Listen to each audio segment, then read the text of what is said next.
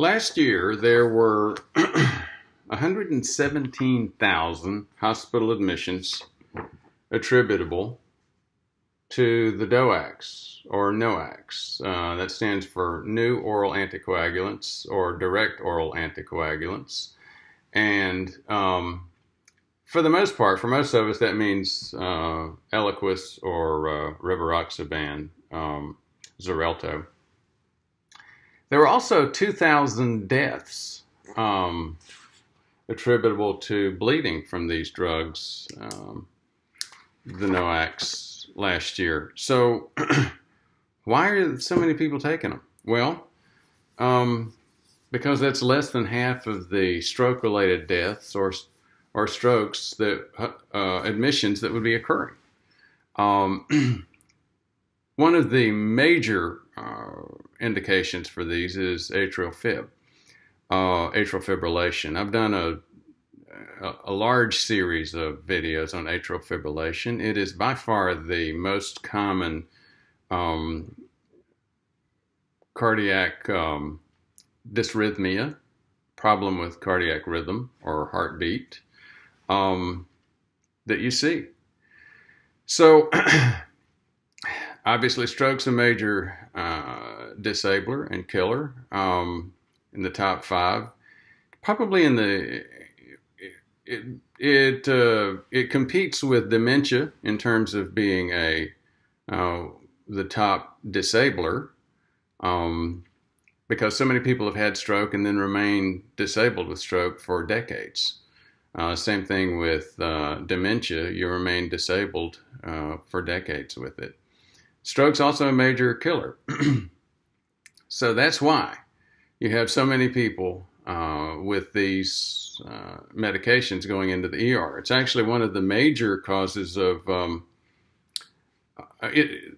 The uh, may be the major cause of serious drug-related um, side effects going into the emergency room as well. So that's why you have all of these folks taking these fairly dangerous drugs. Now. why don't they take um, the old the old medication, uh, warfarin or Coumadin? Well, many of you know know that that's also used as rat poison. It's even more dangerous than um, than the DOACs or NOACs, um, both in terms of all cause mortality and in terms of bleeds.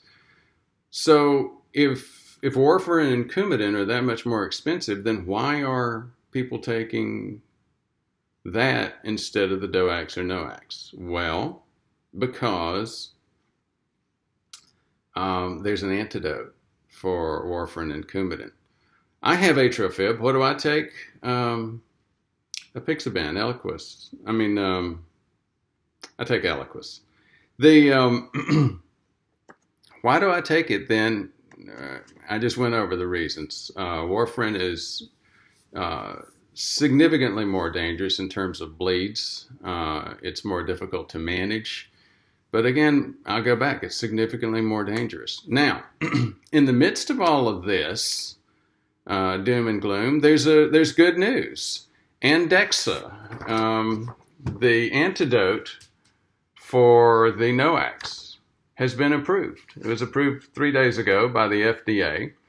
Um, and it's uh, these NOACs or DOACs work on factor 10A inhibitors.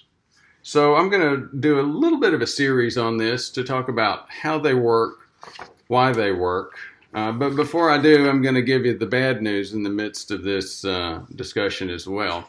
And before that, a brief introduction. My name is Ford Brewer, F-O-R-D, Brewer, B-R-E-W-E-R.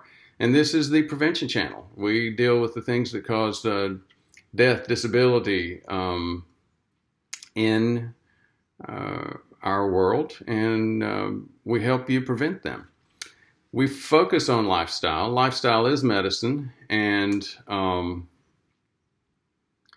for the for the vast majority of issues, including atrial fib, it's far more important to lose that 30 pounds if you need to lose it and to exercise and eat correctly than it is to take any of these medications because uh, they just work better.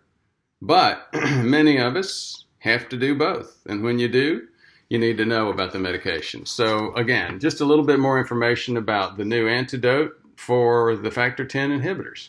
Uh, Andexxa, and again, many of you, are, uh, many of us watching this uh, this channel are on uh, Rivaroxaban, um, Xarelto, or Eliquis.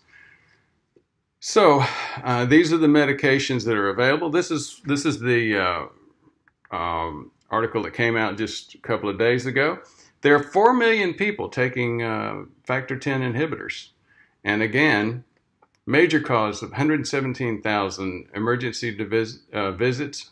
What half of them uh, ended up in admissions? No, 117,000 hospital admissions and 2,000 deaths. But again, sounds like terrible drugs, but they're a lot less terrible, a lot uh, safer than going with atrial fib without um, protection from stroke. Here's the here's the downside to this. It's an a significant step by uh, States Stuart Connolly.